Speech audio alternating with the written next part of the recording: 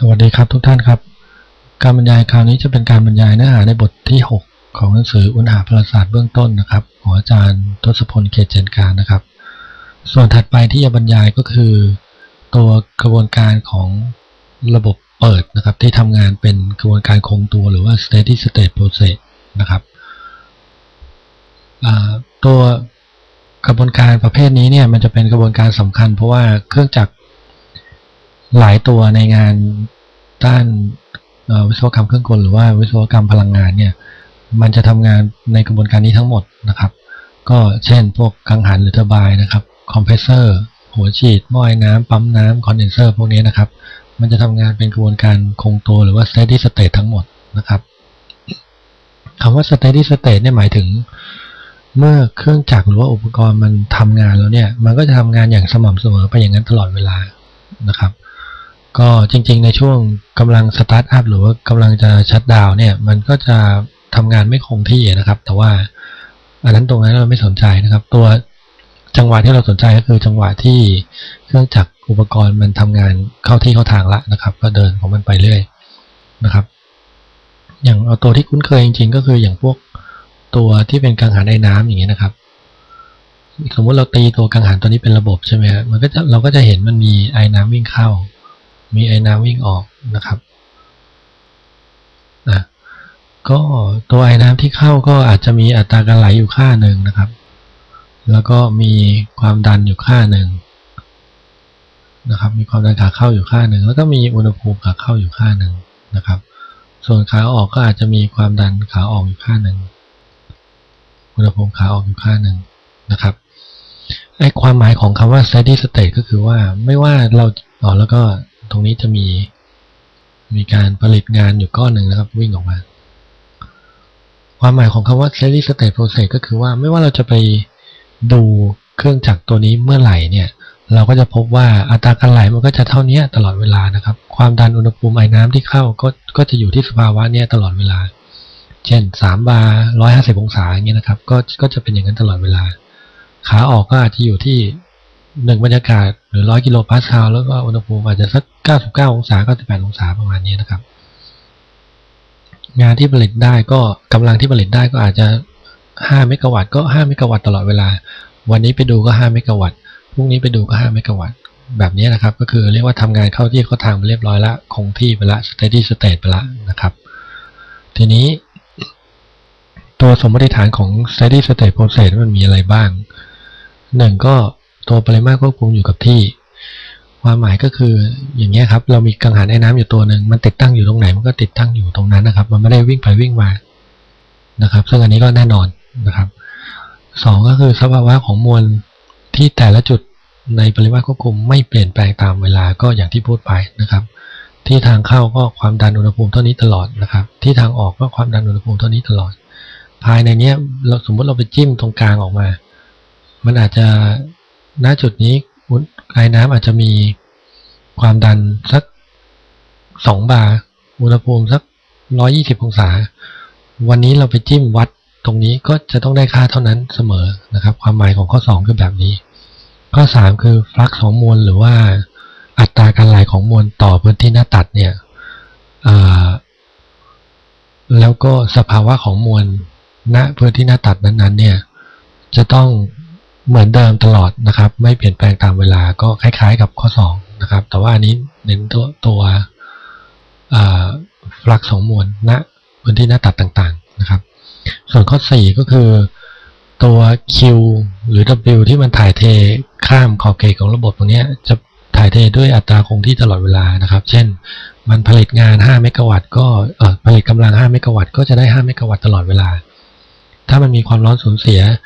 ร้อยกิโลวัตต์ก็จะมีความร้อนสูญเสียร้อยกิโลวัตต์ตลอดเวลาแบบนี้นะครับ ทีนี้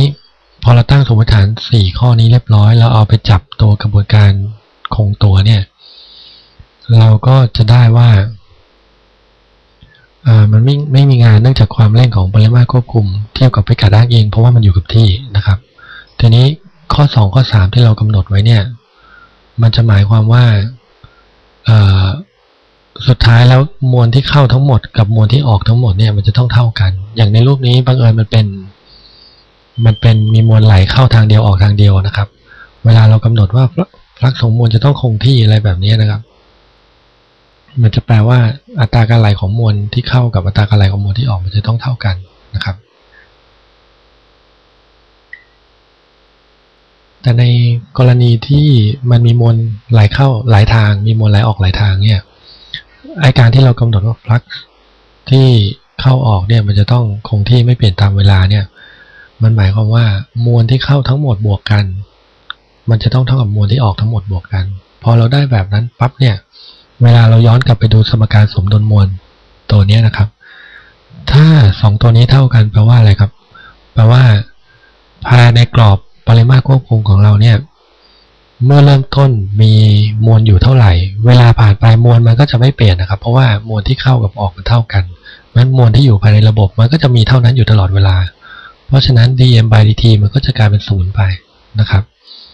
ด้วยการวิเคราะห์ทำนองเดียวกันเนี่ย มันก็จะได้ว่า ตัวพลังงานที่เข้ากับพลังงานที่ออกของระบบมันก็จะต้องเท่ากันด้วย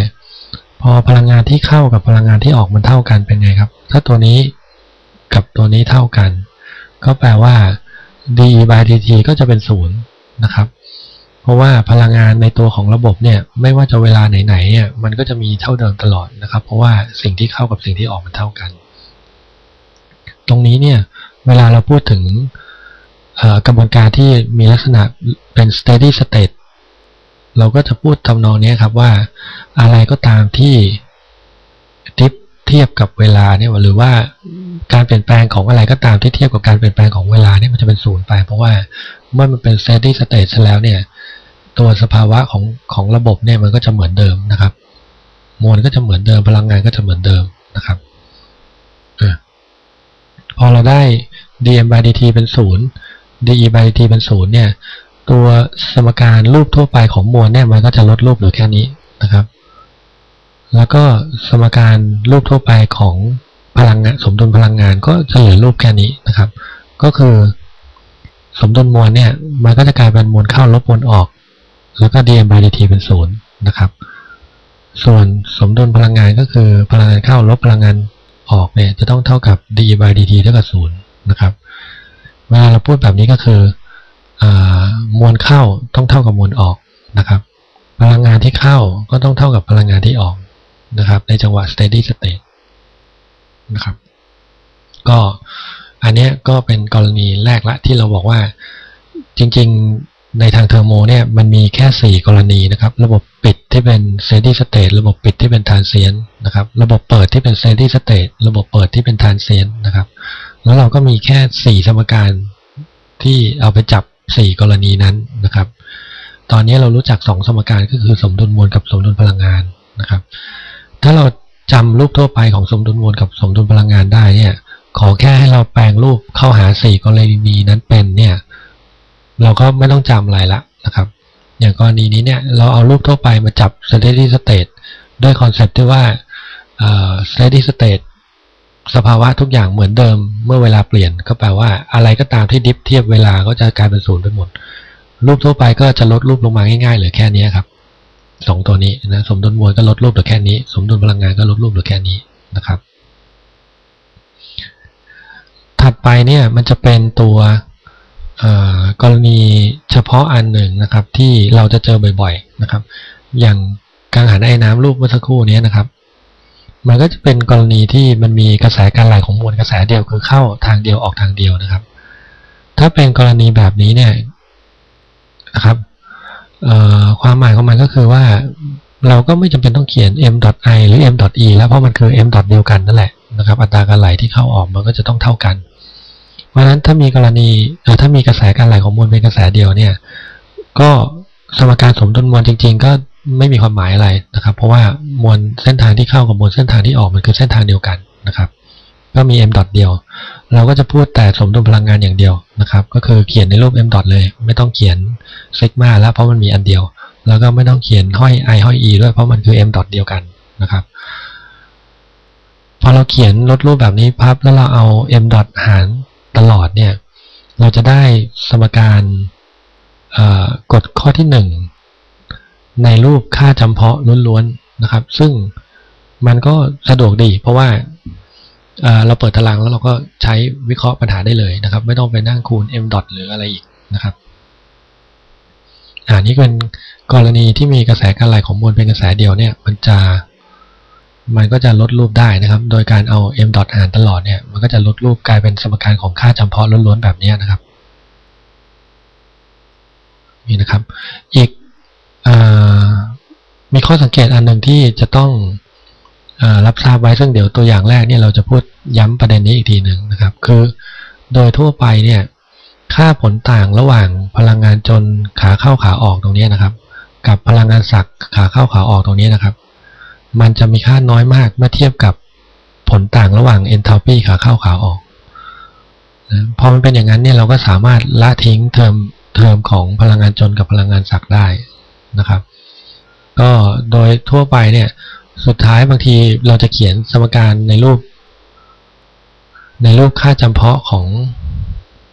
ของทุกอย่างเนี่ย โดยละทิ้งตัวพลังงานจนพลังงานสักออกไปเลยนะครับ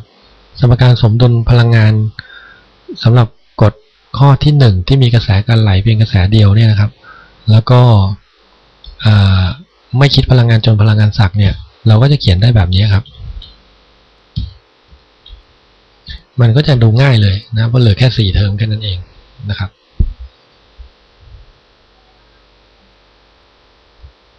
นะก็อ่านี่ก็เป็นข้อสังเกตอันหนึ่ง ทีนี้มันจะมีกรณีเฉพาะอันหนึ่งที่ที่น่าสนใจนะครับ เพราะว่าโดยเฉพาะอย่างยิ่งในกระบวนการทำความเย็นเนี่ยกระบวนการนี้จะใช้อธิบายพฤติกรรมการทำงานของอุปกรณ์ตัวหนึ่งที่เรียกว่าวาล์วลดความดันหรือว่า expansion valve ได้นะครับ กระบวนการที่ว่านี้เรียกว่าเป็นกระบวนการลดความดันนะครับภาษาอังกฤษจะเรียกว่า throttling process นะครับกระบวนการนี้จริงๆ ไม่มีอะไรเลย คือ อย่างสมมติเรานึกง่ายๆว่าเวลาน้ำยาแอร์วิ่งในท่อเนี่ย เราอยากจะลดความดันเราทํำยังไงครับ เราก็แค่เอาวาล์วไปขวางถูกไหมฮะหรือว่าเราบีบท่อให้มันเล็กลงนะครับ ถ้าถ้ารู้จัก capillary tube เนี่ย ในในระบบทำความเย็นเนี่ยบางทีเขาก็ไม่ใช้ expansion valve ที่เป็นวาล์วจริงๆเนี่ยเขาก็ใช้วิธีบีบท่อให้เล็กลงแบบเล็กมากๆ ระดับ1มิล2มิลเนี่ยนะครับ แล้วก็ใช้ท่อที่มันยาวหน่อย มันก็มีพฤติกรรมคล้ายๆ กับเอาวาล์วไปขวางทางเหมือนกันนะครับ ก็ลักษณะมันจะคล้ายๆอย่างนี้ครับ รูปนี้ก็อธิบายว่าเออเราเอาอะไรสักอย่างเนี่ยไปขวางทาง มันก็เป็นการลดความดันละนะครับ ทีนี้เวลาเราวิเคราะห์กระบวนการลดความดันเนี่ย เราก็จะนิยมตั้งสมมติฐานแบบนี้นะครับ หนึ่งคือไม่มีการเปลี่ยนแปลงพลังงานศักย์นะครับ ก็แน่นอนระดับความสูงมันต่างกันนิดเดียวระหว่างหน้ากับหลังตัวที่เราเอามาขวางทางเนี่ยนะครับ ไม่มีงานเข้าออกระบบก็แน่นอน เพราะว่าปริมาตรมันไม่เปลี่ยนนะครับ แล้วเราก็ไม่มีการป้อนงาน ไม่มีการได้งานออกมา กระบวนการนี้เป็นกระบวนการที่ไม่มีการถ่ายเทความร้อนนะครับ ก็หมายความว่าเหมือนกับมันวิ่งผ่านด้วยความรวดเร็วเงี้ยนะครับ มันก็ไม่มีมันก็ยังไม่ทันจะมีการแลกเปลี่ยนความร้อนมันก็ไปละ นะครับ ก็เป็น adiabatic process ไปมีการเปลี่ยนแปลงพลังงานจนน้อยมาก ก็สมมติว่าความเร็วที่ทางเข้ากับทางออกตรงนี้มันน้อยมาก เพราะนั้นถ้าเราเอาสมการกฎข้อที่หนึ่งตัวนี้มาจับนะครับ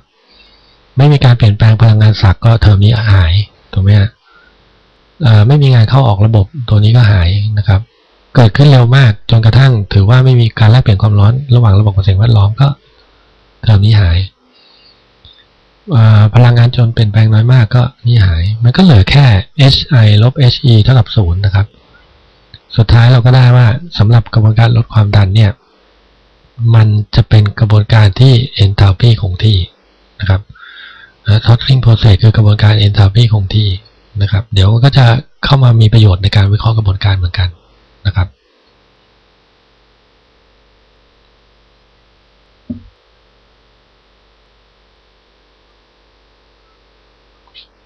ถัด จากนี้ไปเนี่ยจะลองอธิบายด้วยตัวอย่างที่หนึ่งก่อนนะครับก็ตัวอย่างที่ 1 จะเป็นตัวกังหันไอ้น้ำนะครับ มีอัตราการไหลของไอ้น้ำอยู่ 1.5 กิโลกรัมต่อวินาทีนะครับ แล้วเขาก็บอกว่ามีความร้อนสูญเสียออกจากกังหันเนี่ยในอัตรา 8.5 กิโลวัตต์คงที่นะครับ เขาให้หาว่ากำลังที่จะได้จากกังหันเนี่ยเป็นเท่าไหร่ โดยให้ข้อมูลสภาวะการทำงาน ณทางเข้ากับทางออกมาเป็นแบบนี้นะครับ ก็เราก็เริ่มต้นนะครับ ในการทำปัญหาในงาน